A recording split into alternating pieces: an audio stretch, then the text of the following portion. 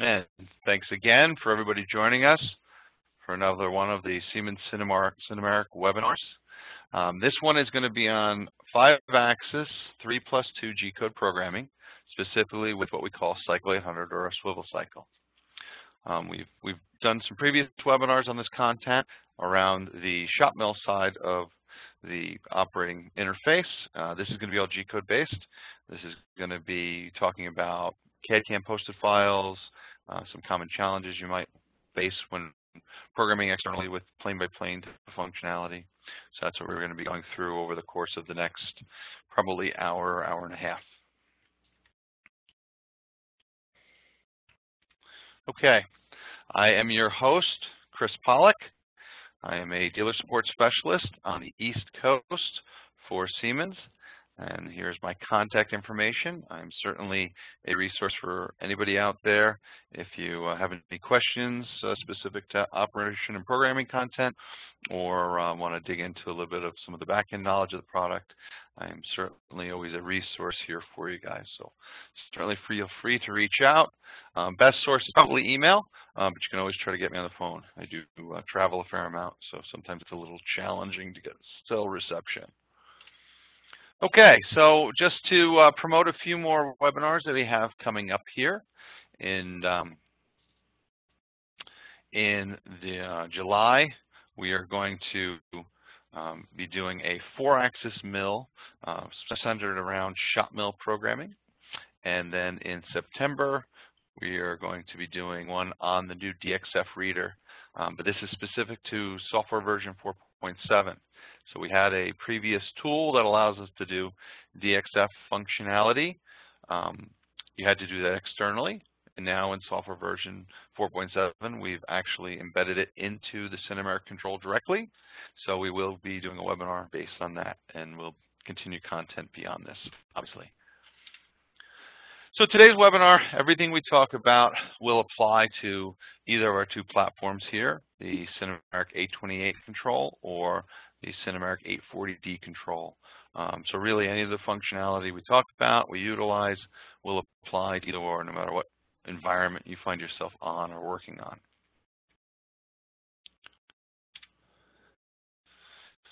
So as I briefly said before, the big thing we want to go through here is starting to leverage our swivel cycle or our cycle 800 in a uh, G-code environment, um, really getting you guys up to speed on not only if I wanted to longhand write it at the control, but more importantly, how do I then handle it with externally posted programs and start to utilize some of this functionality.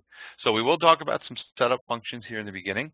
Um, we do want to point out a few features and functions that'll help you with setting up five-axis machines, start to direct you into knowing where these offsets are writing to, so you can kind of align them with the method of programming that you're doing. So with that being said, I do want to transition into the setup side of the control and specific to five axis. So certainly there's a lot of features and functions here that we can take advantage of, um, but we do want to look at some of the key ones when getting into five axis. Um, from, from motion, from moving the machine around, it's really not any different than a three-axis machine tool. Um, one of the differences, you're obviously going to have a few more additional axes. So it's going to be up to the OEM how he wants to lay it out on the front panel. Uh, but generally, you're going to see that either the button set, like we see on the right side of the screen, will give you a fourth or fifth axis option. Um, when you get to the pulse generator, your remote hand wheel, it's either going to be some kind of a radial toggle on the hand wheel, um, or sometimes they drive it from the screen um, if there's no axis selector on the handle. Um, but you'll see that the, the, the system itself, um, because it's so modular, it'll just add the axis functionalities to it. So something as basic like the position screen to move the machine around. Well, if it's commissioned as a five-axis machine, you'll immediately get those additional axes in the field. So if you wanted to move the machine not only linear, but also drive the rotaries, you can do that right from any of the native screens you're used to, even running the machine as a simple three or four axis variant.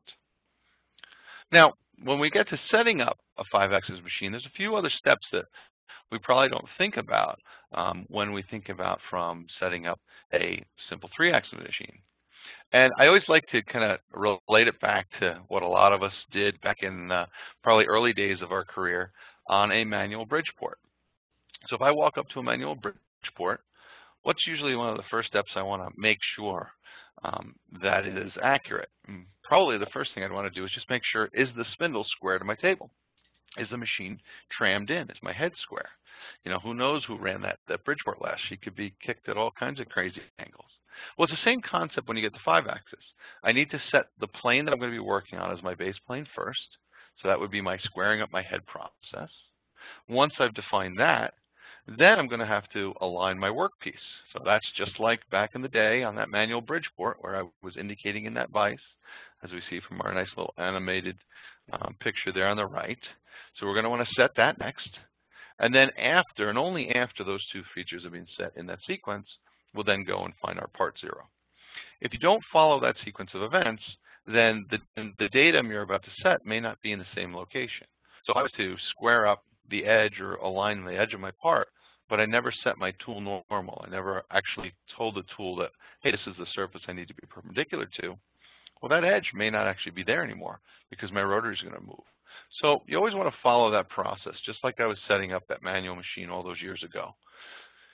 Set your plane, then set your edge, and then go and find your zero. Now, certainly if I don't need to establish the plane, if I'm working uh, with the datum relative to the machine table, um, then potentially I could, I could skip over that step and go right to the align edge.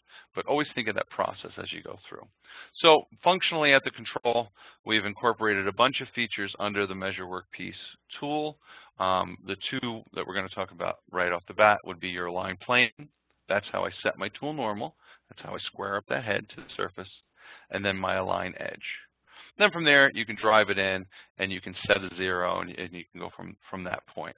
So when you go to an aligned plane, most likely you would probably have a probe in the spindle. Could be done manually if you wanted to. But you're really just going to come down. You're going to probe three points on the surface, and that's going to start to write offsets for you to align that surface. Next step will be to do the same process with our align edge function.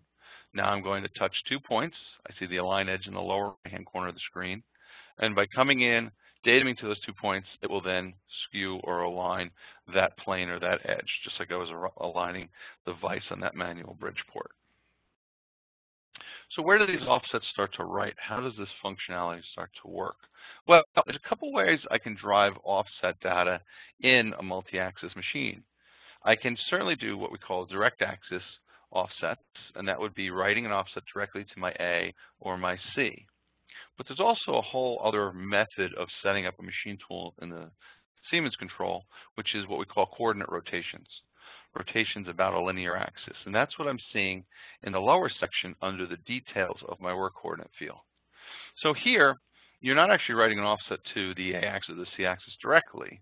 You're actually defining the machine and telling it, I want to do a rotation about a linear axis. So in our example here, I have 10 degrees 10 degrees is a rotation about my x-axis. 5 degrees is going to be a rotation about my y, and then z is going to be 30 degrees about the z. So what the system will automatically do is it'll then take these values and then calculate out what the resulting motion would need to be for that table to get to the right location. Now, depending on the cycle you start to use will depend on where it's going to write this data or how you write the data to it. So if we take a look at Sinutrain here, I have a basic five-axis machine set up, and we want to start to take a look at these offset tables, or, or these measuring functions, shall I say. I go to my measure workpiece field, and I'm going to get a selection of different measuring cycles up. So if I first look at my align plane, I start to see that it's asking me to start to touch off three different points. Now initially it's going to use whatever I happen to have in the spindle. So I would probably want to have a tool change to a probe.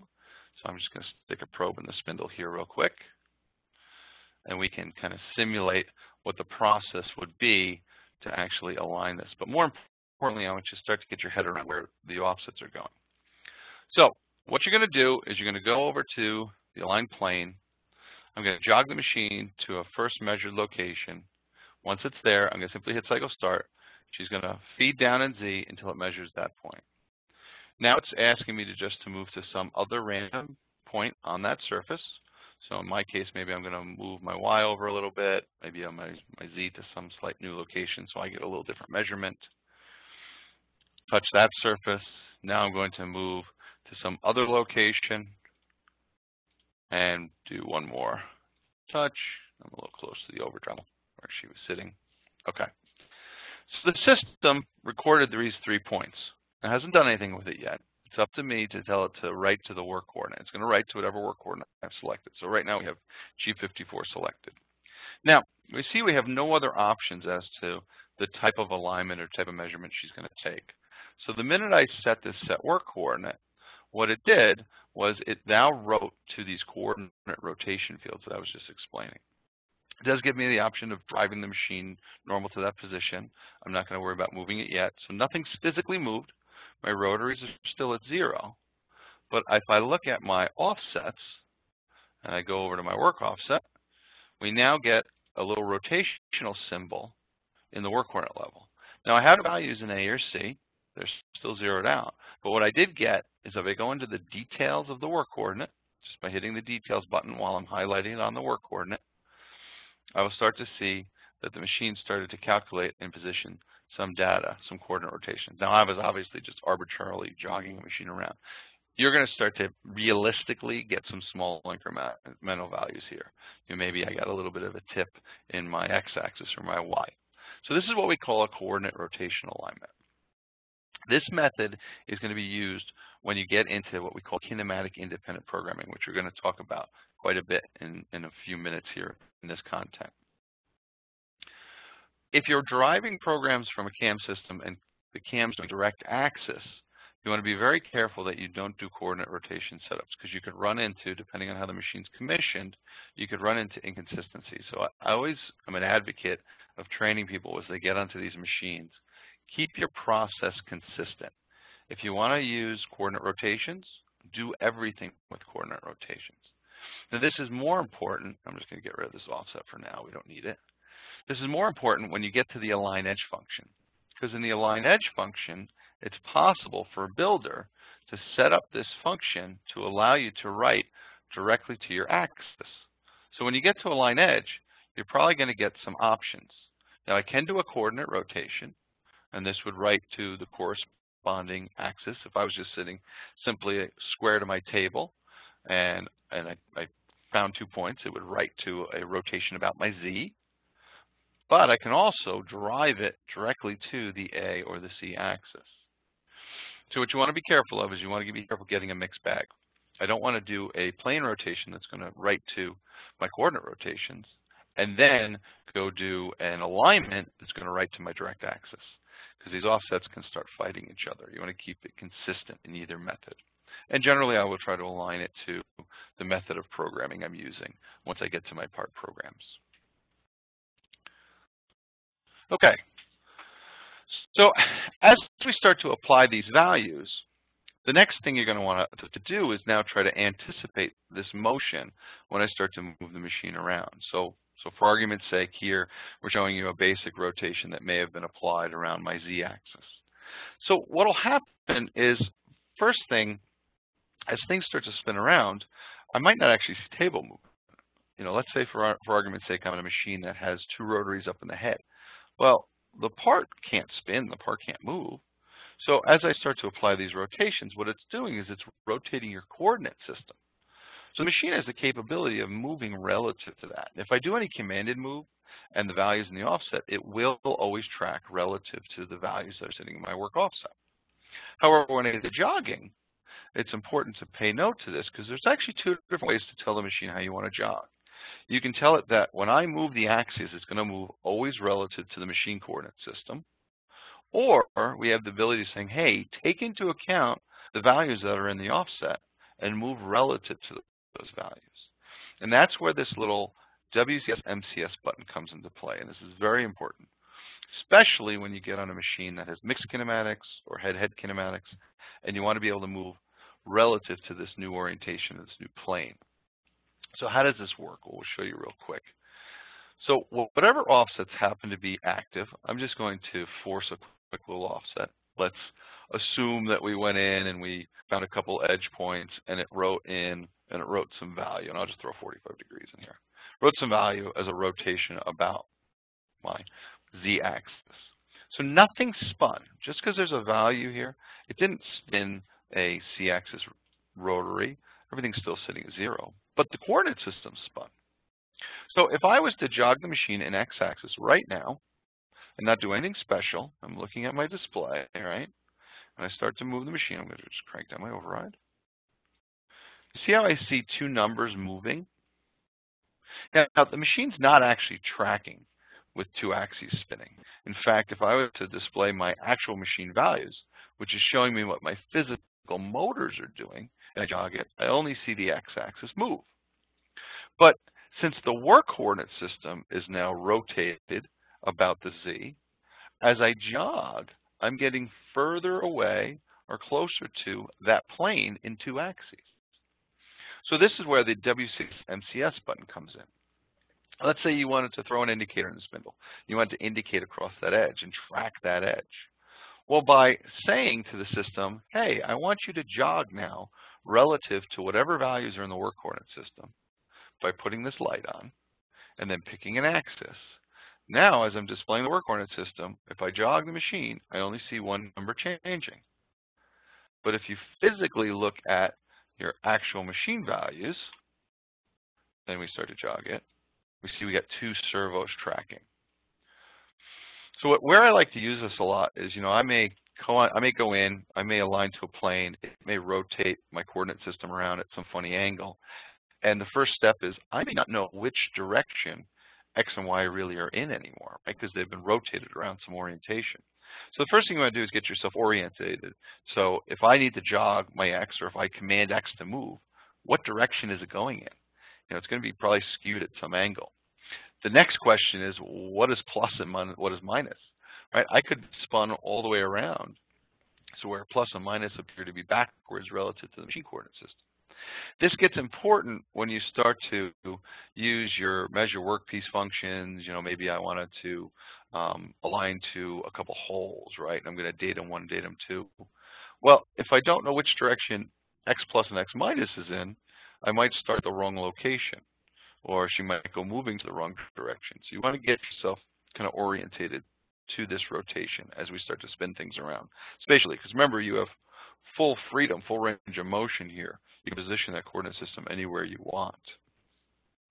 So these are some of the tricks you're going to start to do. But really, all this functionality, it's, it's really all just getting used to the cycles that are available and then where they're writing the data to. And again, they're writing the data directly to the work offset.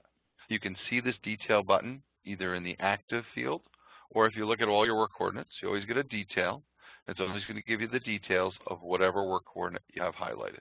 So let's say I'm on 56, I had details. I don't have any values in this one specifically, so everything's at zero. However, if I go to work coordinate 1, G54, now I see where we had some numbers displayed. Okay.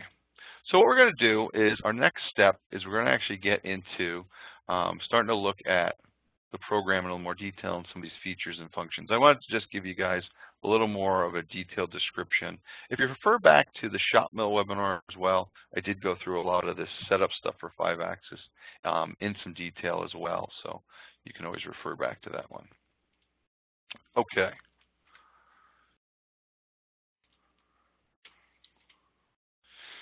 So now we're in jog, we're applying these offsets, we're moving the machine around. I'm probably going to want to be able to then swing the table normal to this surface because I'm going to want to continue to move in the operation sense. So let's say we were to have you know aligned our plane. We touch three points, um, but I want to now move so my physical tool is square to that surface, whether it's my spindle tipping over because I have a head-head kinematic or it's the trunnion swinging or some combination thereof, I need to have a way of, of driving the machine to a location and then letting it present that surface without having to try to crank it over or jog or command each axis. So that's where it comes into us having embedded a simplified version of Cycle 800, the swivel cycle, which we're going to be using in programming. And we put it here in jog for you guys to use as part of your setup process. So that's what you're seeing here. So in the jog screen, in the lower right-hand corner, we have the swivel function. And what we did was we probably came in, aligned to some surface, and then I want to go normal to that surface. So I can start to drive the machine to this location. Now this swivel cycle is going to come very handy, um, not only for presenting the surfaces from setup feature, but also maybe I need to cancel a rotation because I had to shut the machine off halfway through a machining process and my rotaries are contorted at some position. So what you're going to do is you're going to use the swivel feature that we see right here in conjunction with this alignment. So let's say, like we were playing around with before, we went through and we aligned three points. So let's say for argument's sake, in our work coordinate, it ended up that it calculated a 10 degree rotation around X and a negative 3 degree around Y. Okay. So I would have probed the three points. Those values would be there, but the machine hasn't moved yet. And I don't really know where it's going to move to make that surface normal. Well, that's where the swivel cycle comes in. So in the swivel cycle, I can first enable what we call our tool carrier or our swivel name. This is what's loading all the offsets in the back end that's managing the kinematics of the machine. I can tell it, hey, I want to get the head up into a safe spot, get it out of the way. We're going to go through all these features again in the programming area. And then I can drive the machine to some rotation. But if I do an initial zero, and I just tell it to do a retrack and everything at zero, what it's going to do, is she's going to move to this position relative to whatever work coordinates loaded. And it will use the offsets. So now I see the machine moved to negative 10.436 and it calculated a rotation of 160 degrees. Well, it calculated this value based on the measurement I had taken or the offsets that are written right here. So if you're doing the process, just like we talked about earlier, and you know I align my, my spindle or I align my head to the table, and then I want to align my edge or my datum surface, well, I would need to present that surface first, right? I want to I want to make it square. I don't want to have that surface at some weird angle when I try to measure the x or the edge of it. Same thing here. So this is where you're going to use it through your process. When I'm when I'm doing my setup, I'll measure my plane. I'll come in. I'll drive her normal to that surface. Then maybe we'll square up. So so maybe it went and it took a measurement and it found that it had to apply a little offset in the z-axis of, I don't know, 15 degrees, just to throw some numbers at it. Well, to make that one active, I just come back to the swivel cycle, recycle start, machine now moved to some other rotation. And now we're aligned. And then I can go in and I can set my zero. And certainly set my zero would be the same as I would do on any machine. I could do a basic edge kick. We could come in and we could, oops, sorry, we can maybe find the center of a feature, find the center of a hole, I mean, however you're going to do that process. Now, the other thing I mentioned was what happens if I was moving the machine around. So let's say for argument's sake, it was uh, jogged at some contorted position, wherever it happens to be, and I want to drive her back to zero, to machine zero. Well, that's another area where I can use a swivel cycle. So I can shut the program off, come out to swivel, let it do a safety retract, and tell it initial. Now remember, it's going to use whatever's in the work coordinate. So in this case, it's not going to drive all the way to zero, just the compensated value of that offset. However, if I don't want any offset values, as long as I have zero in these, it'll also allow me to drive the machine back to machine zero. So now everything goes back to zero, machine's in place. And the final thing I like to use the swivel mask for is canceling of the swivel cycle. So whenever the swivel cycle's on, you get this little indication right here that the carrier name is loaded, and you get this little green box that says it's active. That means that there's offsets in play that are tracking or moving the machine motion or affecting the machine motion. In fact, if you were to go to your offset table and look at your active offsets, it starts to show you some of these offset values that are starting to come into, into, into effect as I move the machine around. Well, if you want to just cancel all active offsets, come in here, select as a zero, cycle start, and that'll also cancel the swivel cycle record. So you're going to use it for those couple things. Um, certainly aligning during the process of, of setup. for obviously re, you know sending her back to a safe location when I'm done, like maybe I, I shut her off in the middle of a, a cycle, and then canceling the record. Now, additionally, I have a couple different options here to cancel the record. Probably the next and most common would just be just doing a simple MDI. And what you'll see in a lot of your G-code programs, especially if they're posted out, you're just going to see a simple cycle 800, open close parenthesis. That would do the same thing as what we just did with the swivel cycle, toggling it to zero. That would physically cancel the tool name or tool carrier and all the offsets associated with it, and then I would expect to see go blank. All right. Okay, so from here, let's move on to the programming section of the control. And we want to start to talk about the swivel cycle in a little bit more detail here. So first and foremost, this is going to be the basic program that we're going to go through and talk about having methodized this part. So we'll, we'll pop this up again in a little bit before we start writing the program. But initially, let's talk about the cycle 800 or the swivel cycle. So the function itself supports two different types of features. So you can do plane rotation or plane orientation. And what that's going to do is that's going to allow me to basically present a surface and make that surface perpendicular to spindle. So when I'm all said and done, the XYZ coordinate system, your UCS, your unit coordinate system, will be aligned to that surface and Z will be perpendicular to the surface I present. On the flip side, I also can do what's called tool orientation. So that would allow me to tip or angle the tool relative to a surface, but the work coordinate system stays aligned to where it was originally on the part. It's not moving the Z. So for argument's sake, uh, we're, we're machining a freeform surface, and we want to tip the tool 30 degrees but just tip the tool. The work coordinate system is going to stay where it was originally. You can use this in this align tool functionality. Now this webinar, we're specifically talking about plane rotation, so the feature on the left. Um, I would say the feature on the right can be used on uh, standard machines more commonly. I see it used in five-axis lathes with B-axes.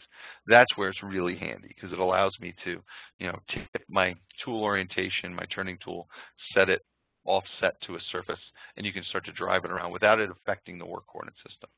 Could be used on a mill. I've certainly done it with machining like freeform surfaces, but we're going to concentrate on the one on the left. So what what is it doing? You know, as I was just stating, it's it's establishing a plane, and it's moving the work coordinate system, that unit coordinate system, to that new surface, and then making the x, y, and most importantly z aligned to the machine spindle. Now the result of motion is obviously going to change or vary from machine type to machine type. But the mask, the cycle, is a constant. And that's what's really nice about this. So no matter what type of machine we put this on, you're going to use the exact same setup every time in the, in the programming environment. You don't have to learn different types of swivel cycle for different types of machine kinematics. So what would I see in resulting motion in probably most, our two most common types of machine? A swiveling table, which would be a trunnion style table or a swiveling head. Well, again, for that same exact interface screen, I'm to get two different motions entirely. One's going to physically rotate the tool tipping over. The other one's going to rotate the part. But it's the same cycle that's driving both of these behaviors. So how does it work? Well, first step, it allows me to slide or move my coordinate system. The second step, it's going to let me rotate. And in my third step, it'll actually allow me to shift the coordinate system one extra time. So if you noticed in this little animated element on the left here, we actually took our zero, we slid it to some point, we rotated and then we slid it to a new location, and that's establishing a new zero. So a new zero not only in a orientation, an angular orientation, but in a new linear position too. Well, that's going to be handled inside of the cycle 800, and then a few extra things that you'll see.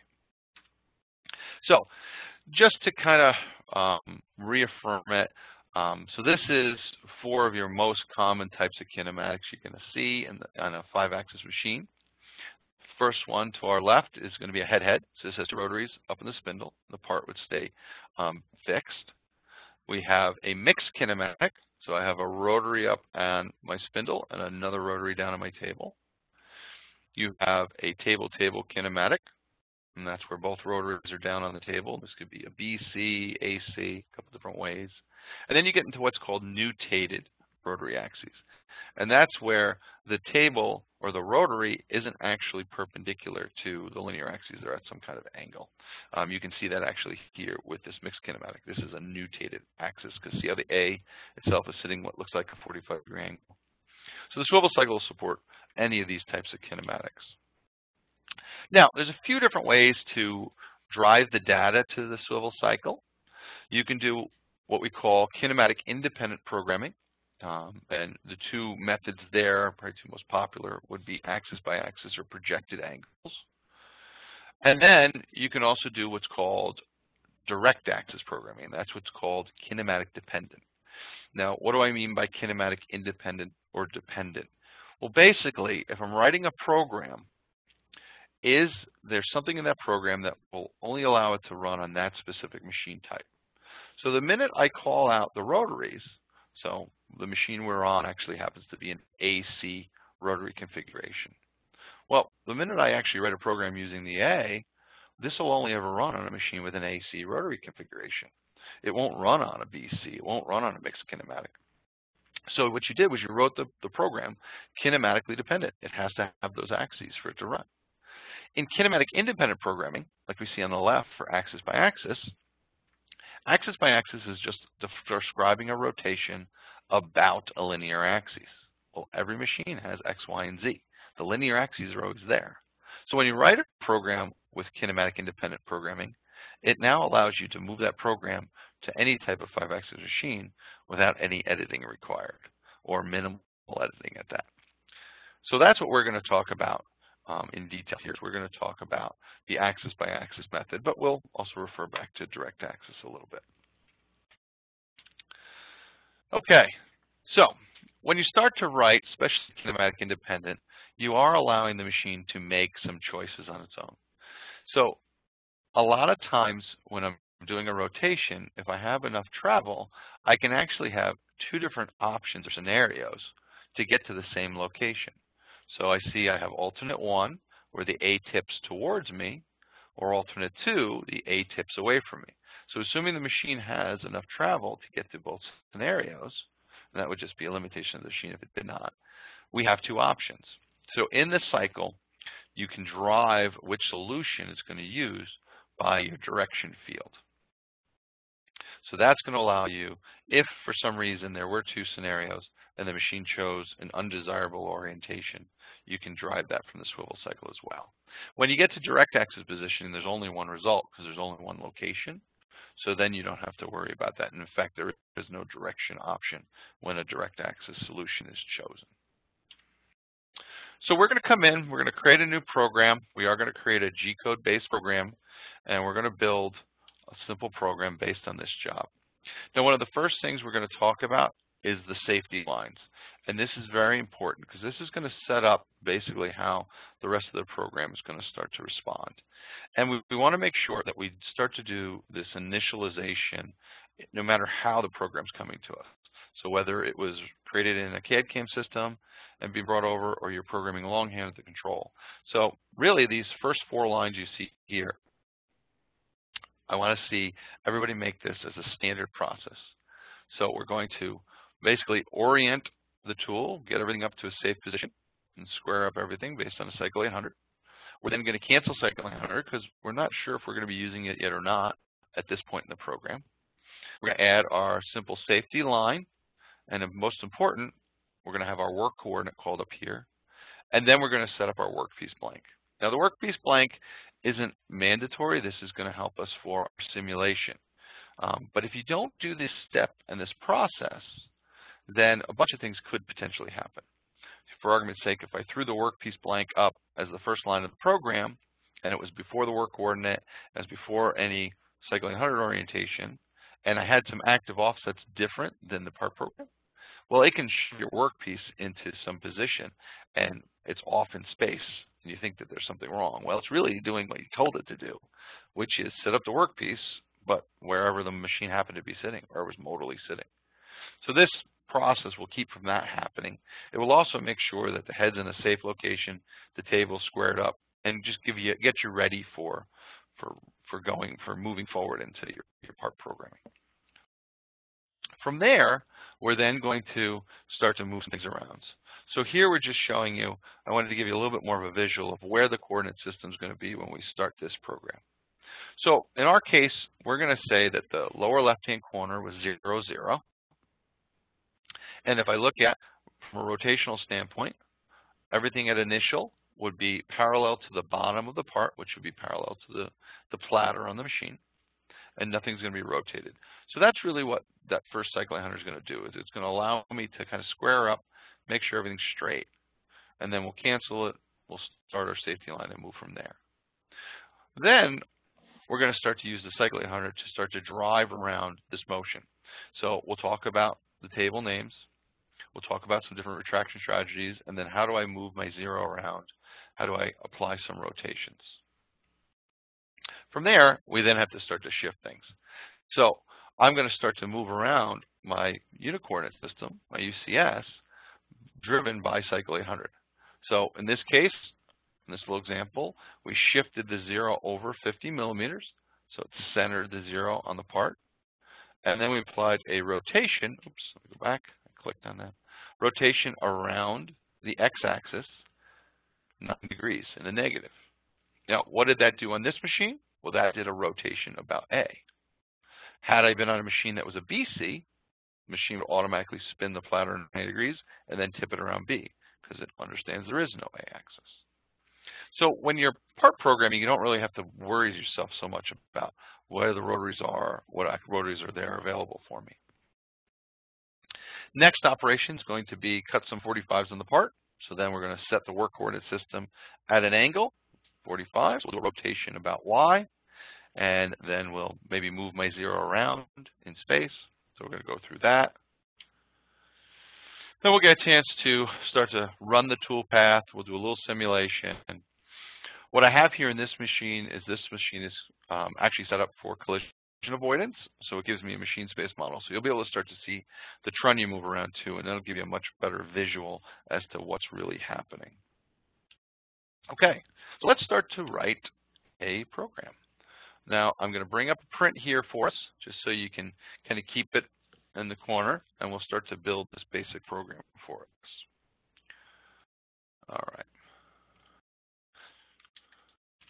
So so what we have here is to keep us from having to go through the entire thing and give us a little bit of time because there's a lot of content here. I'm going to grab a program and drop it up here. And we'll use this as our example. Okay. So first things first, when you're going to start to build your program or set up, you have to know where Cycle 800 exists. How do I get to the Cycle 800 function? So when you're editing a program or creating a program, First thing you're going to do is go under the various button, and that's going to give you the swivel plane feature. Swivel plane is the cycle 800, the swivel cycle mask. So if you want to get in to that cycle, just hit various, hit swivel plane, and it's going to pop you up the mask. Now the first thing you're going to do is you're going to come in, you're going to hit swivel plane, and you're going to hit this initial button, initial settings. And initial settings is going to set it up to a default solution, and it's going to zero out everything for you. So then you just want to kind of come over it and make sure that this is exactly what you want. So first thing I'm going to want to do, this is the start of my program. I'm going to want to make sure that I send the head someplace safe. So that's what's called your retract strategy. So if the value is at a no, then the machine's not going to move at all. So we have a couple different retract strategies, and depending on the way the machine was commissioned by the builder, there are some more or less you'll see here. This one happened to be commissioned where it allows you to do a straight Z retract that'll move the Z to the extent of its travel in a plus direction. You can do what's called a maximum tool direction retract. That would move the tool out at whatever orientation angle it's at until it over travels, but not letting it fully over travel. Or you can do an incremental retract, and that would just be a small incremental move up away from wherever the machine was sitting. So from a safety standpoint, you're going to want to do a full retract up. Then you're going to want to make sure all the values are at zero. Now you're probably not going to know what the direction solution you would normally want would be yet, so we're going to leave it at its default. And then I'm not going to want to use tracking in this case. I'm going to do do not track. You fill out the page, hit accept, and it's going to build this first event for you.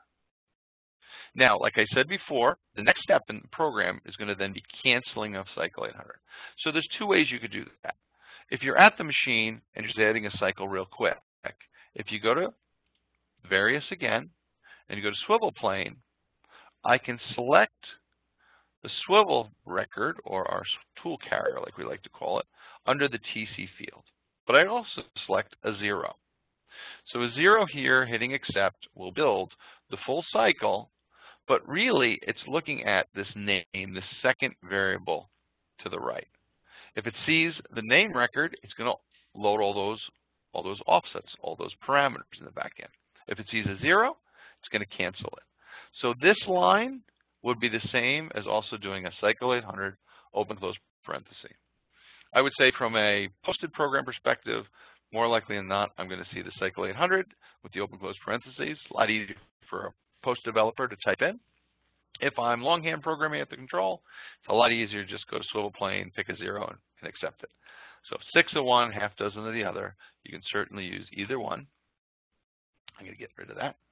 Then I want to set up my safety line. So typically, I would probably set a tool plane or tool orientation of G17, um, load whatever work coordinate I'm going to be using. Do I want to be in absolute incremental mode? And then what's my unit of measure, inch or metric? This program happened to be methodized in metric. Now you want to set up your workpiece blank. So the workpiece blank is going to set up the stock. So it's going to set up the blob for us. Now, depending on your, your machine commissioning, it may or may not have this clamping field. Um, some of the older software, we only introduced the clamping field in 4.5, so you wouldn't have seen it earlier. Um, some builders don't put it at all. If the, if the machine is commissioned for clamping, though, you do want to make sure that you set this, and you set this relative to whatever the orientation of the part is for your rotaries. If you neglect to set this and you leave it a table, then it's not going to show you five-axis simulation when you get to the simulation screen. It's only going to show you three-axis, so it's going to look certainly strange. So if I'm doing a basic, um, a basic C-axis clamping, where my A would be at zero and my platter would be square to my table, I would pick a C-axis orientation, and then you just define your block and, and what are the basic size of the block, no different than any other program we've ever done in ShopMill or in G-code, and say accept. Now, we set up certainly a tool. I grabbed a 20 mil cutter that was in the tool page, um, loaded my offset, did a tool change, set up some speeds and some feeds, maybe coolant, however I'm going to drive it. And now it's time to start doing some tool path, right? So everything's square, nothing's really happened. Just, just put a tool in the spindle. So your first step then is to now present the first surface we want to machine. So if you look at your part print, we need to machine a 9 degree angle down this face. So to do that, and remember my, my zero is this lower left hand corner, and it's right on the top, so it's straight. So to do that, what I'm going to do is I'm going to now create a swivel cycle. I want to make sure that I'm calling up the tool carrier. Probably get the head to some safe spot. It's already up there, so I can leave it there. And now I can start to move the machine around. So in this case, we decided to shift the X over.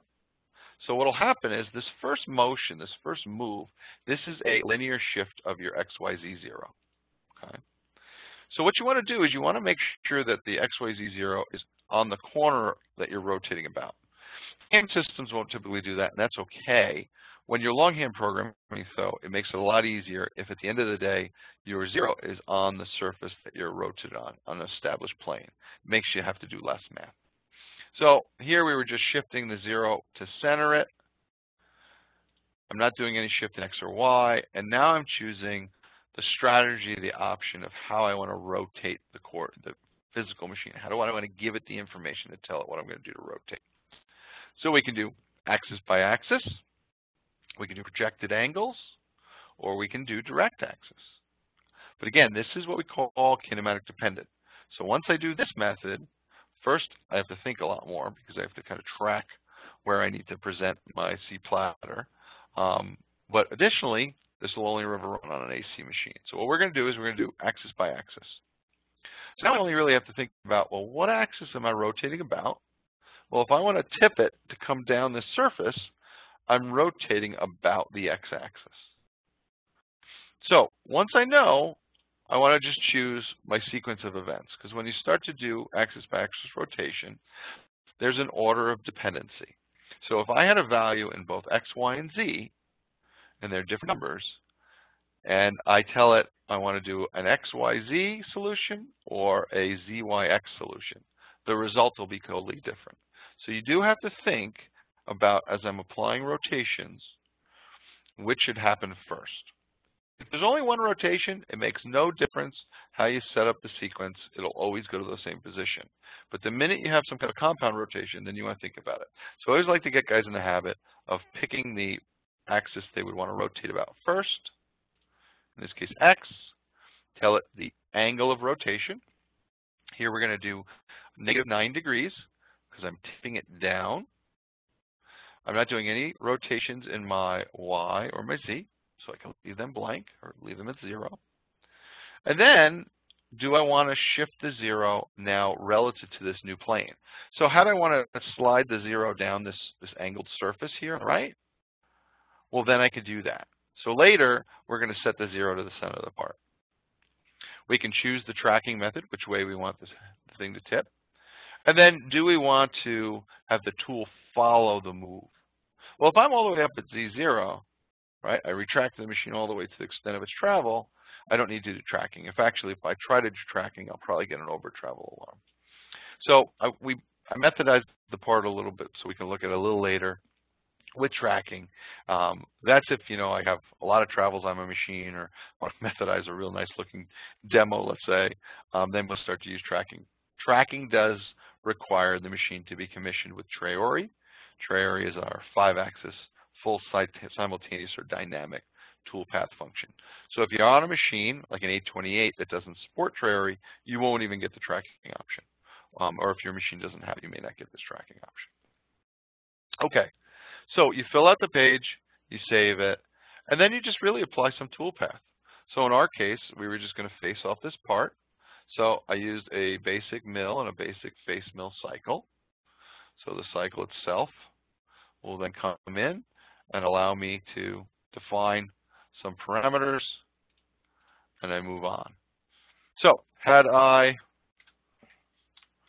put a quick little M30 here, if I was to go simulate this, we'll now see that the machine is just going to machine that first surface. So there is our 9 degree surface. Then it pulls out and it's done. What would the motion look like?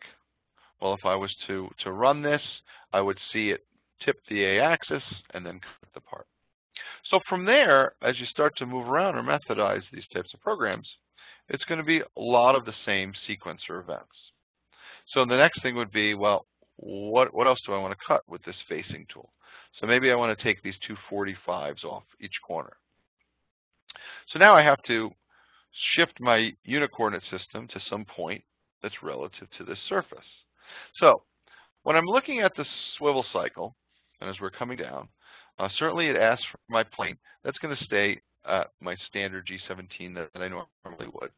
Tool carry we would always want to have turn on probably a retract strategy. And we have this option called new or additive.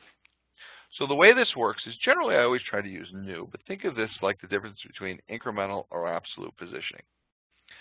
A new rotation will always revert back to wherever the zero point is for G54. An additive rotation will build on the last rotation. So remember, the machine is currently sitting at a 9 degree tip. Well, I don't need that 9 degree tip anymore because if I look at the print, these corners are parallel to the bottom. Well, by doing a new, it automatically cancels those rotations. If you want to think of it in your own head as the table is going to go back straight before it does that rotation, that might be clearer. Um, it won't actually send the table straight. It'll go right to this new rotation. But this is going to keep you from having to unwind anything, right? Tip anything back. So from there, I then really just position my zero. So since my zero is back at this corner, I then want to rotate. Now, remember earlier I said you want to have the, the zero somewhere on the surface that's about to rotate on. So if I didn't, if I rotated right here in this corner and tipped it around 45 degrees, well now I'd have to calculate how far down this surface is from that point, because that would become my zero. But on my print, I know that this lower edge is 30 mil down. So prior to rotating, in this case, if I shift my Z 30 millimeters down, I can then do a rotation about Y, negative 45 degrees. That's going to tip, so my Z is now perpendicular to this surface. I don't need to do any other shifts, so then I just save it. And now we use a facing cycle to handle that. So now I'm going to just tell it the basic parameters of my X. So we gave it about 43 millimeter right here to work up the side.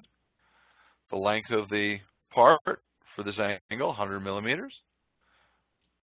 A step over amount, depth cut.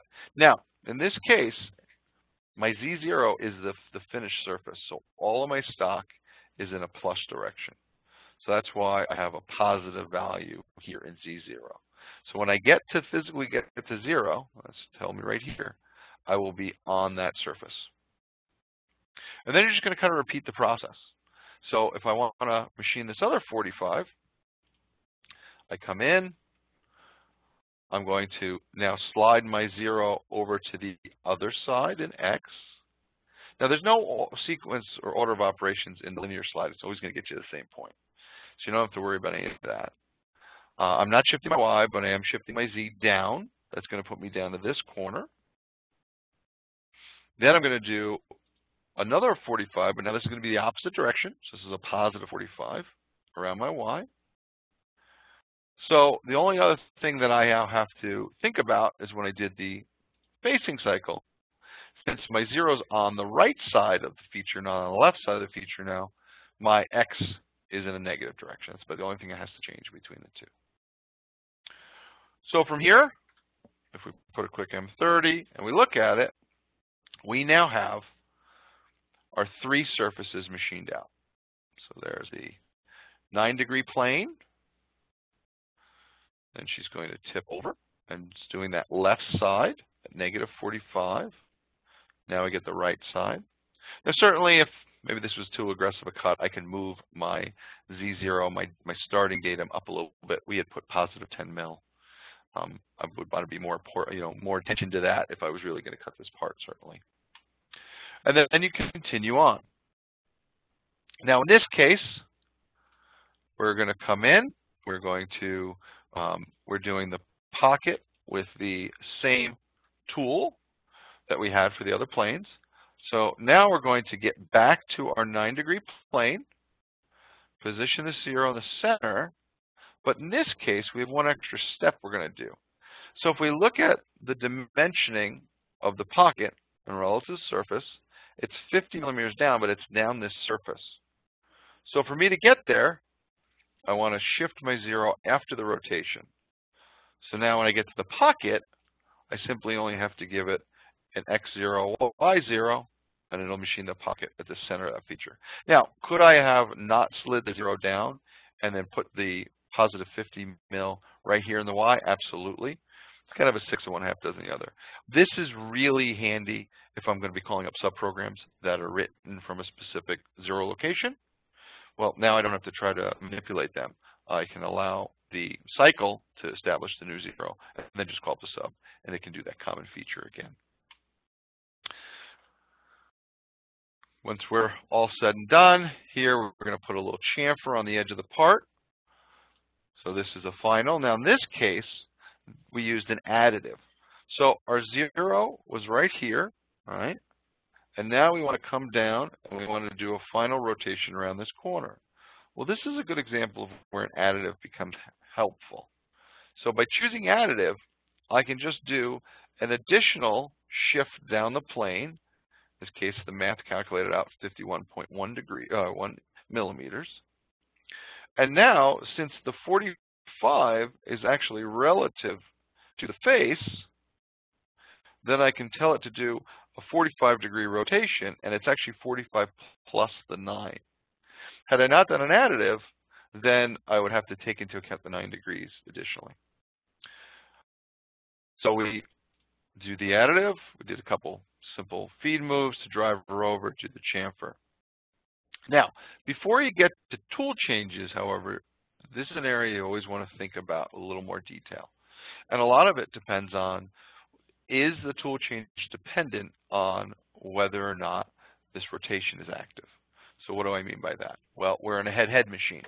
So my tool is physically tipped at some angle. And now I'm going to go drive it up to a tool change. Well, it needs to straighten that tool out prior to doing the tool change. I would hope that the tool change macro will handle that. But I don't like to leave things that I can control in other people's hands. So I would generally make it a good rule of practice to, at the end of the day, prior to my, this was actually wrong. Glad I looked at it. Um, prior to my tool change, I would want to square everything up, send her to zero. That puts us in a safe location. Then drive the machine through a tool change. Now in this case, since it's squared back up, I want to make sure I represent my orientation. Oh, look like that had gotten moved. So let me go back and grab. Cut, copy, and paste is a beautiful thing. So this should be our 9 degrees. Yes, it is. Uh, no, it's probably this one we want to use. Because my zero is the center. Yep. So let's copy that. Place that right here. So I reset my orientation. That's going to position me back to the center of the feature for my bolt hole pattern. And then we just use a standard drilling cycle like you guys have seen plenty of times before in other webinars. Set the locations. I'm just going to use a bolt hole pattern. Cancel it. Now, at the end of the program, just like at the beginning, I'm a big advocate for send the machine back to its safe location, Z retract, send everything back to zero, use that initial function, and then cancel the swivel cycle when you're done. So at the end of the day, or at the end of the program, we're going to get a methodized complete part.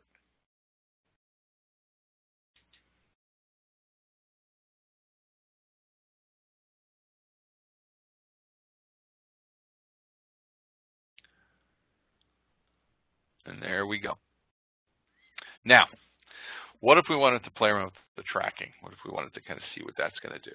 So right now, if I was to look at this part and we were to run it in auto, now we have a feature in here under simultaneous record where I can bring up machine space model.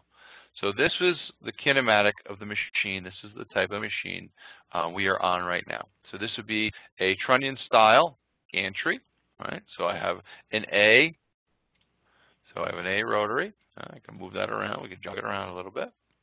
And then we have a C rotary that spins around. You can kind of see the platter spinning. A little hard to see without anything on it.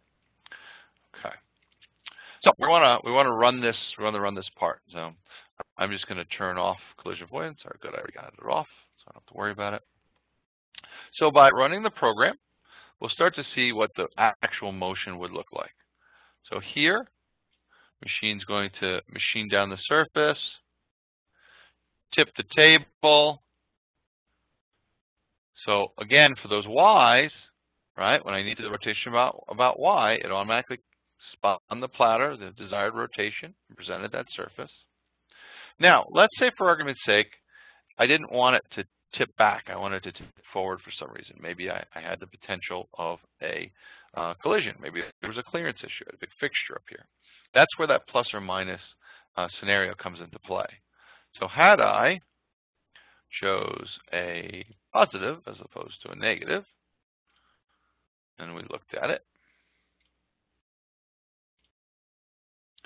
now when it goes to this 45, watch where the table goes and there tips the other way.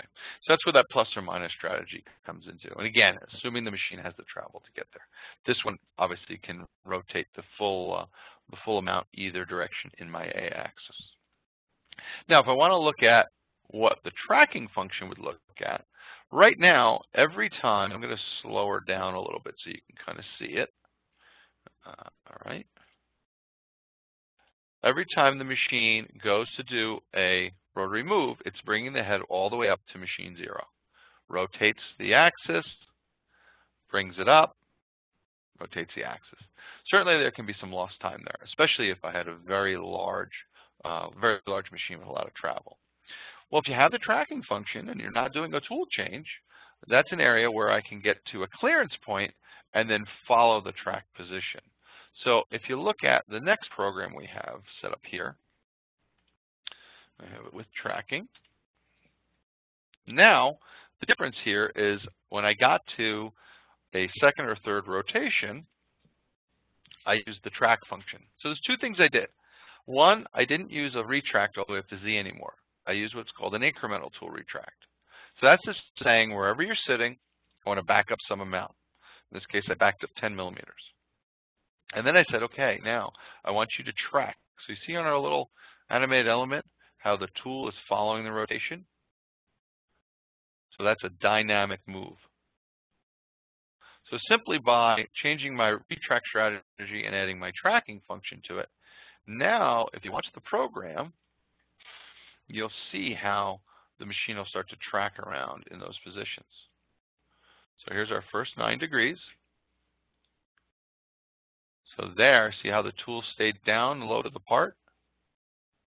Now you do want to watch with the tracking because you could potentially end up in a solution where the tool is lower than that surface. Um, but that's the way the tracking will start to apply for us. And I can see if I can slow it down a little bit more. It's hard in uh, it's hard in these to to get the speed down. Uh, that's probably as slow as I'm going to be able to make it. Try here. There you go. You see a little bit. So see how it was down when it did that nine degree rotation. Here we'll feed over. Slow it down so you start to see it. Now she's going to come up a little bit tracks with the surface, moves over. So that's a good one because that one kept me above the surface. But if you watch this next one, once we get done, take one more cut.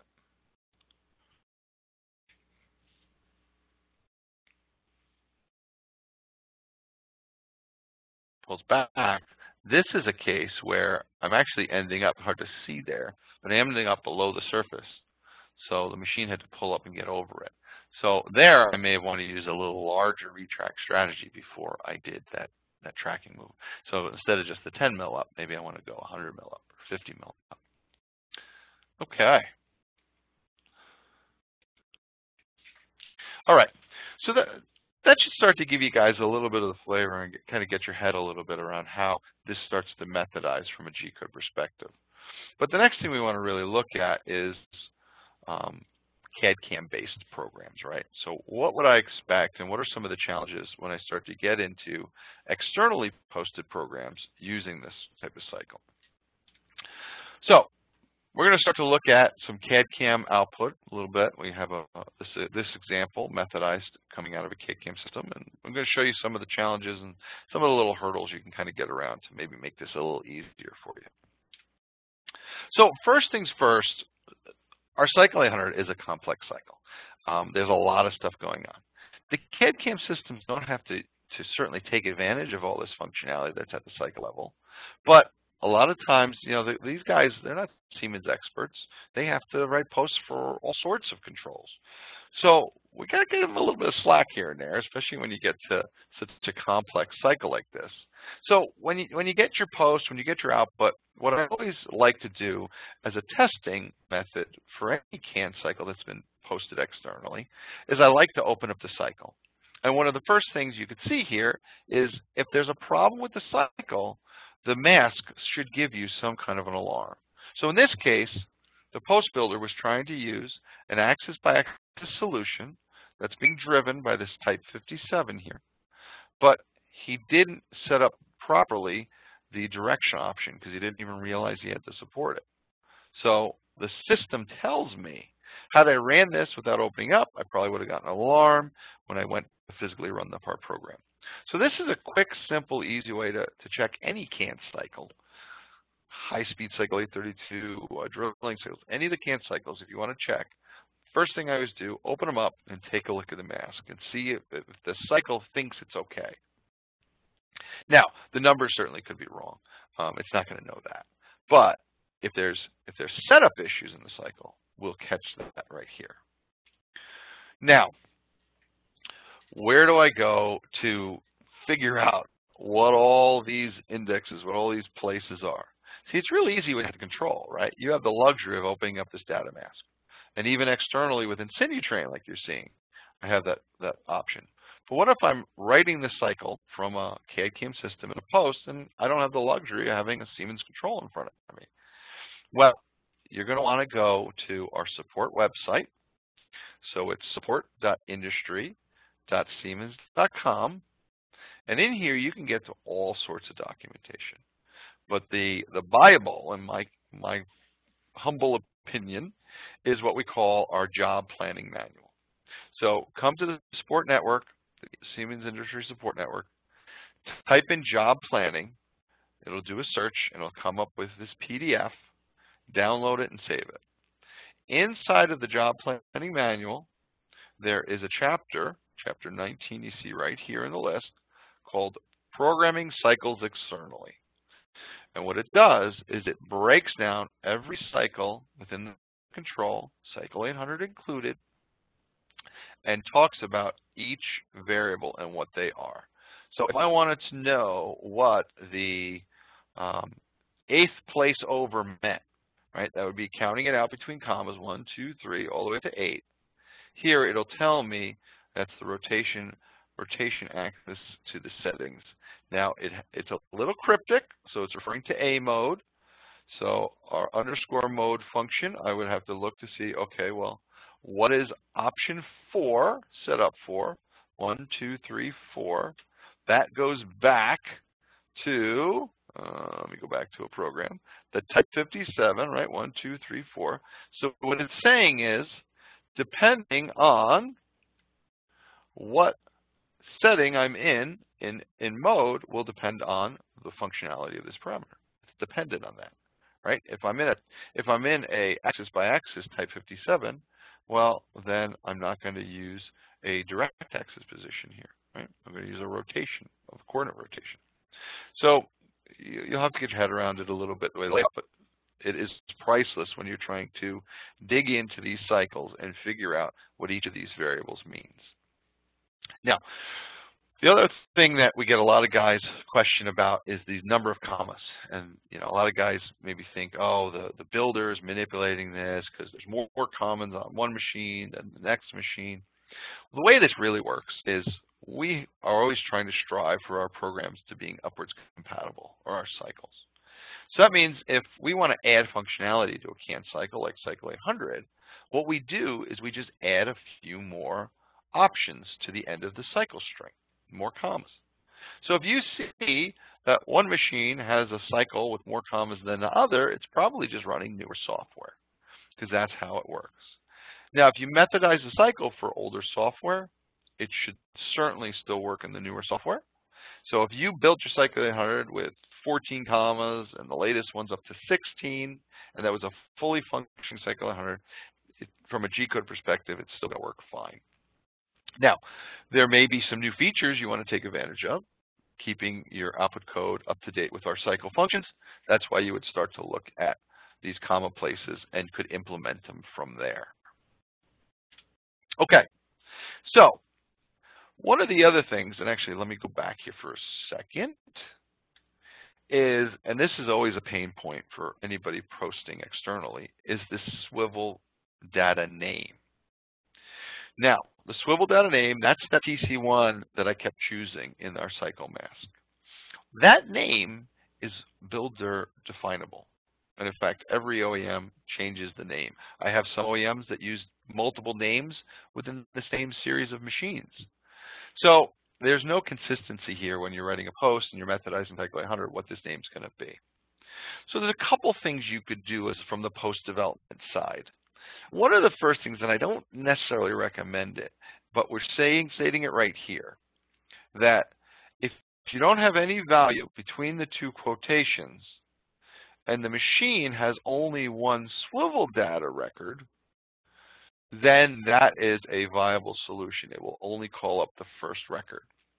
The problem is you're probably not going to know how many swivel data records this machine was commissioned for. So if you leave it and you make it your standard practice to leave the, the, the name, this, this swivel data name, always blank here, well, that's probably not going to work on every machine. Uh, and more likely than not, it's, it's not going to work. So one of the things that, that I use sometimes that I find pretty helpful is you can set up a variable inside the, the name of the record. Now, the name, since it's a name, is a string. So string defines basically anything that can be used numerically and have letters in it. So it's some form of a name. Now, there could be numbers here. So for you to replace the quote and the name with something else, right, down here we have the TC1, what you do is you have to define, define a string. So defining a string is as simple as giving a definition statement, typing the word string, and then in brackets telling it how many places, how large the string could physically be, end up being. So I just gave it 10 places. Then from there, you're going to give it some variable names, so a space and a variable name. So I called it underscore swivel. Does not have to start with an underscore, but you want to be very careful to not duplicate one of our system variables here. So I like to always use an underscore first because we don't use underscores for system variables.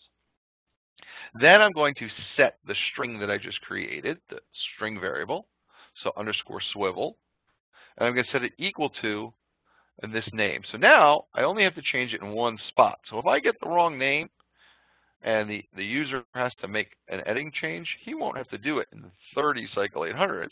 He can just make the change right here in the header. And then down in my cycle mask, instead of having quotes in the name, I'm going to write whatever my string variable is. So in this case, underscore swivel. This is certainly a very viable solution. However, our cycle mask doesn't like it.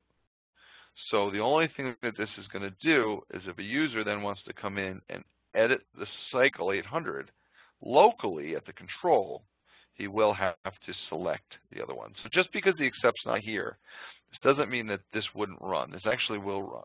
So if I showed you a program here, this is that program I'm talking about. So here I defined a string of swivel, and then inside the swivel cycle, I called it swivel.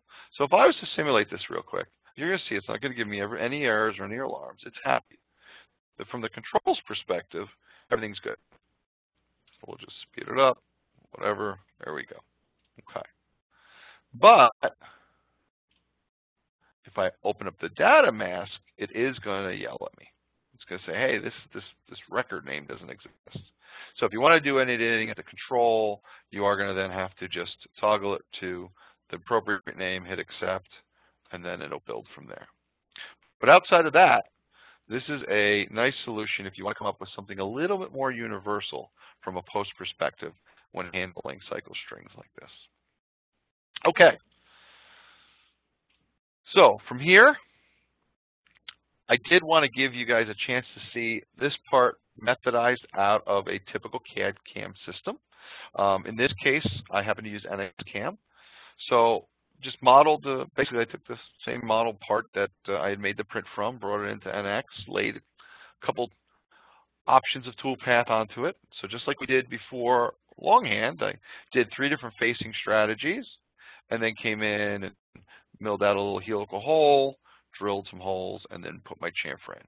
So I methodized the part, posted it out through a post that was obviously native to NX, and then got my toolpath here. So, so we can go and actually take a look at this, and we can run it for you real quick so you can get it just get it, get your eyes around it. So when we start to look at output toolpath, I mean, every post developer can do it a little different ways, but this is pretty common from what you would see. So you're going to see some, some comments, obviously defining some specifics about maybe the print that was used, whatever, date and time. You may see some variable definitions. So this post happens to like to use the variable underscore cam tolerance in cycle, inside of cycle 832. So they're defining a real. A real or an integer would be a numerical value. A real supports decimal places. Integer would be a whole number. Then we're going to do that same method that we talked about earlier. You want to send the machine to a safe location with the tool carrier enabled. Then from there, cancel the offset, do your standard safety line. If the post is supporting the blank, great, you can post it here. If it's not, I want to make sure certainly that I have a clamping there. Um, I can insert this manually. Then we have some comments. Here you see where they're setting the cam tolerance. And then later, when they use it, yep, there's an example of them using the Cycle 32 which is our high-speed function. But when we get down to the swivel cycle record, you can see it looks like just like we did on ours. So we can start to drive down. This is doing some toolpath. They're canceling their cycle 800. Here they did with the open and close parentheses. Now this is a little bit of a mix because remember we were talking about kinematic independent. This happens to have some rotary axes called out, at least in the retract strategy. So had I moved this to a different machine, this would have to be updated. But what's nice is it's only this. I wouldn't have to go into all the cycle 800s and update them. They would work on either types of machine kinematic, uh, BC or, or mixed kinematic. Um, then we're going to go and orient on our 45. So they decided to use, again, axis by axis strategy in this post. And away we go. So the resulting toolpath is going to look basically the same as you saw it. It'll be slightly different, obviously, because the CAD CAM system is, oh, let me slow this down. I'll rerun it for you. And we'll do a little show toolpath here. All right. So here's our cutting it. They're doing a little bit more optimized based on the surface. But I intentionally obviously methodized this thing so it would look like the part program we long-handed or the example we went through here. And there we go. So that's really what you'll start to expect to see, start to expect to see methodized. One of the things you will see a lot more from a posted perspective. There's a lot more redundant commands and redundant structure. Um, a lot of times it just makes it easier when you're developing the post. Don't be surprised about seeing, um, you know, um, maybe uh, a, a, a, feature being set multiple times over with the same value. Um, a lot of times there's not enough logic there in the post to say, hey, well, it was set earlier. I know it's modal. So you do get a little bit more redundancy um, in a, an output program but you'll see that the structure is going to look the same as we did. Now, certainly the tool pathing, not common to see CAD-CAM systems using our milling cycles, um, but absolutely from the drilling perspective. So if I go down here, and I got to where we drill some holes, right there, there's our cycle 83. So if I wanted to check this drilling cycle, and trust me, I did when I first played around with this post, first thing I did was open it up and make sure that the numbers seem legit. Now, the values look a little weird because from a CAD CAM perspective, they're going in and they're leaving the zero wherever the global part zero is. So when she tips up on some kind of an angle, right, when it rotates back, now the CAM system just compensates because it's never shifting like we did. It's never shifting to zero here. It's only doing a rotational value. So that's why the numbers might look a little strange because the zero is staying where it is. The, the orientation of the z-plane is following, and the plane is being set up. It's just not on that surface. Okay. So the only other thing that I did want to touch real quick is um, when we start to run in auto mode, um, just a couple features that I find really helpful, especially when you get to five axis. Um, Mid-program start, we've gone through this a bunch in other webinars, and a lot of you guys that have had any exposure to our control are familiar with being able to start a program anywhere within the program. And if you use with calculations, it'll scan to that point, set up all modals, it'll set up all rotations, everything that occurred prior to it. But the other thing that's very handy when you get to five axis is this overstore mode. So this is kind of like having MDI in the middle of auto mode. So at any point when I'm running, let's say for argument's sake we were running this part, and we'll just get her moving a little bit. So let's say uh, my, my feed was wrong or I needed to move out and, and kind of get out of my position. So all I have to do is hit a cycle stop and my overstore button becomes active. Now I can come into overstore and I can treat this like a little MDI. So maybe I want to send my Z to, uh, I don't know, 100. Cycle start. And the machine will move to that location. I could have turned coolant on. I could have changed the feed rate, whatever I want to do. Then, once I back out of the mode, hit cycle start, it's going to reposition back to the point at which I stopped it at, and then continue moving. This is very handy when I have spindles, especially that can rotate. Because I could be down inside a hole, I could be normal to that hole. So now for me to pull out of that hole, I now have to move at some vector. I have to move a couple axes simultaneously. So for me, I just did a simple Z, but it could have been moving three axes at a time. You know, you're going to do that. Also, as long as you don't shut the program down, the offset should stay active, so I could go back and jog the machine if I wanted to.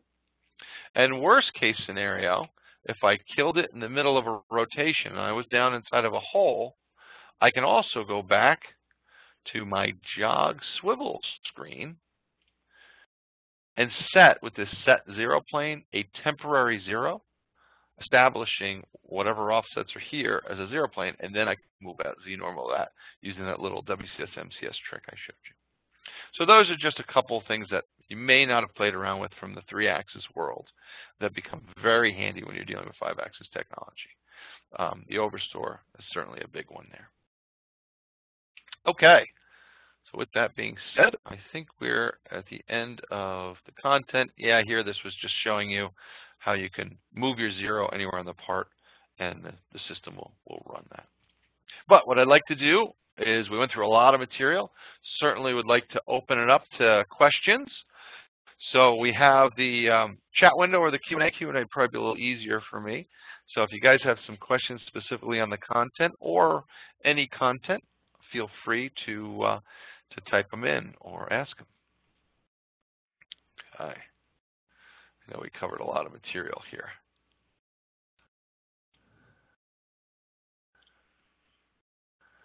All right, so it looks like we have a question. Um, what do I, oh, oh here is, is Sinutrain readily available to people like us? Absolutely.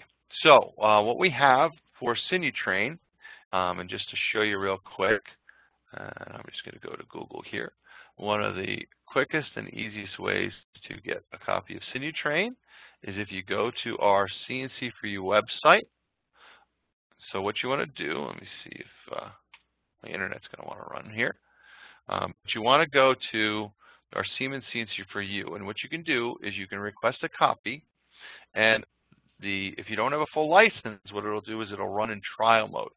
Um, and the trial mode will basically allow you to manipulate the machines around. The only thing it doesn't let you do is just bring programs in and out. Um, if you want to then use it for uh, a tool where maybe you're debugging code, stuff like that, then you can get a full version. Um, certainly we can quote that to you. Uh, but the trial version uh, works out great for just kind of getting your head around, moving the machine around, playing with some toolpaths, stuff like that. So CNC, the number four, and the word YOU, if you just do a quick search for that, it's going to pop up, and you're looking for the URL that has industry.usa in it. And this is going to drive you right to our landing page. That's also the same page where you can go and you can get uh, access to all the webinar content. Uh, once you get there, there is an option, you got to hunt around for it here, that allows us to uh, request a copy of Sinutrain. I don't want to waste a lot of time here for you, but it, it is on this website. If you can't find the link, uh, shoot me an email, and I'd be happy to get you the direct link right to it, but you can certainly request a copy. Um, would you align an edge before a plane, and would it then follow the plane align? So, um, and, and we did talk about that. So, so no, you never want to align the edge first um, because it, it doesn't know based on that orientation when you go to the aligned plane. So always do the plane first. Once you've aligned the plane, then you can present the edge. Because now, once you've aligned the plane, that edge should be perpendicular to the plane. And then you find it. Same thing with finding a bore, right? If my bore wasn't perpendicular to my, my probe, I wouldn't want to go in and find the bore and then make the probe that bore perpendicular. So align the align the plane first. Great question, Mike. Thank you. Um, is there a way to update my Sinutrain? Um, so there is. Um, again, I can get you the link. You can come into here, or the other one I actually like to go to a lot is our German counterpart site, because um, that also has Sinutrain that you can download. On our site right now, if you request it, we'll send you out a copy of it. If you go to our German colleagues, you can actually download directly. It is quite large. Now, the one thing you want to pay attention to with updating Sinutrain is what version um, you currently have, what your license version is. So if you have a version 4.5 license, that will support all the way up to version 4.5 edition 3. That was the version we were just running. Um, if you have, if you want to get into version 4.7, which are our latest version, it would require a new license. So from there, then you would have to purchase a new license again. So it, it would depend, um, obviously, based on what version you have. But we do have um, a bunch of different versions for, for given licenses. Okay. Let me see if I... Uh, does the align edge with coordinate rotate then stack onto the found values for the from the plane? Okay, so this is where you want to be want to be a little bit careful. Um, not not always. So so what the what the question is is if we were to come into jog, define an aligned plane. Right, he's using. Oh no no, I'm sorry, I misread it. So does the align edge with coordinate rotation, then stack onto the values of the align plane? Yes, it does. So as long as you're using coordinate rotation, sorry about that, I misread it real quick. And that's back here, this coordinate rotation of the rotary axis. If I'm using the aligned plane, the coordinate rotation is just going to write to the other coordinate of those three axes. So that's really what you'd have to do when using the, the align plane in relation to the align edge function. If you use the direct axis function, then there, you're going to start to get offsets found in both the direct axis position as well as coordinate rotation. And that's where you can run into trouble. Okay. Um, how can we activate the simulation in the program? Uh, Max, I'm not sure if I follow. How do we activate the simulation in a program section? Um, so the machine itself should be commissioned to support it um, if I'm following you correct. So I guess my first question is, do you have the simulation button visible here? Um, simulation isn't an option, it's a standard feature. I have seen some builders, especially on real advanced machines, um, may not uh, support the simulation function or want to support it based on their crazy kind of kinematics. Um, so they may have inhibited it, but if not, you should be able to activate it. Now, as far as if you're going into the simulation and you're not seeing the blank, well, that's probably because the G-code program just didn't have the workpiece blank defined in it. So you can manually enter the blank like I did when I wrote the program, just simply by going to various, going to blank, and inserting it here. Additionally, if you go into simulation and the blank's not there, it'll start just moving the tool around and you can actually go into show path and see it. But you also get, let me shut it off here, a blank button. So if you don't want to add the blank to the part program, let's say for argument's sake the programs are locked and you can't edit them, but you want to get the, the 3D graphics up, come into the physical blank button and it looks the same as the cycle. It's just not going to actually physically insert it into the part program. It's just going to set up the block there for you, whatever the dimensions. So mine, see how it changed? Because I had some other numbers there. All right. Um, so the key is not available. Okay, this is back to the simulation question. So if the key is not available, the OEM is probably inhibiting it. So what you'd want to do is you'd want to um, go back to your OEM to find out why they're not um, allowing it to be activated. They may have some other reasoning from their end. Because um, normally that button should always be there. Uh, what is the best uh, methodology uh, to machine parts that may not be aligned with a machine axis? So if the, the physical part program itself is aligned to the axis, but the, the actual part is not, well, that's where you're going to use those rotational commands like we talked about. So, I mean, that's the beauty of them. The part can be oriented anywhere. If the G-code program thought it was aligned to X, but you have a rotation about Z at the work coordinate level, the machine will do all the compensation for you. So really, that's where it comes into play. Now, certainly, if the tool path was compensated already to be at some compound angle, then you're going to have to stage it relative to that because that's what she's going to do, right? So if the actual G-code program is doing X and Y motion to be parallel to a surface, you'd have to mimic that. But as long as the part program thinks it's straight, you can align that thing anywhere you want in space, any rotational value, any plane, and as long as the work coordinate values have the rotations, it's going to follow that orientation. Uh,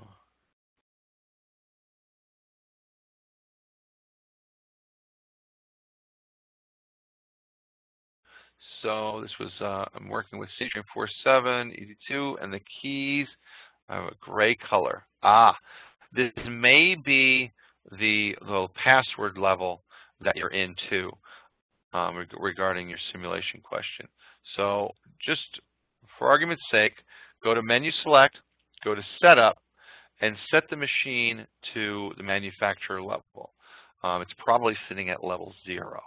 So what you want to do there is you want to go in, you want to hit password, set password. It's all caps.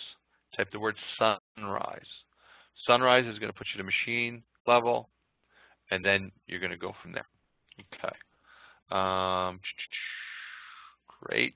Let me see, jump back to the other window. Uh, how can I make sure that simulation matches my machine? Um, I'm assuming we're probably talking about from the Sinutrain perspective, the software we're in here. So one nice thing that Sinutrain does is it allows me to build a virtual machine from the physical machine archive of my machine. So I can actually have, and I'll show you guys here real quick, I have a whole library of different machines that I've built. So see all these machines here? Well, some of them were generic, but some of them you see, here's a DMG, Here's a Smithy machine. Here's a Toolmax machine. There's a Romi machine. There's an EMCO. These I built from archive files. So if you guys have Sinutrain and you have a machine on your floor and you want to have one, um, you do need an extra license to build this. But if you like, you're more than welcome to email me over your archive, and I'd be happy to build it for you. And then you can just import it. Now, you do need the full version of Sinutrain to be able to import um, externally created machines.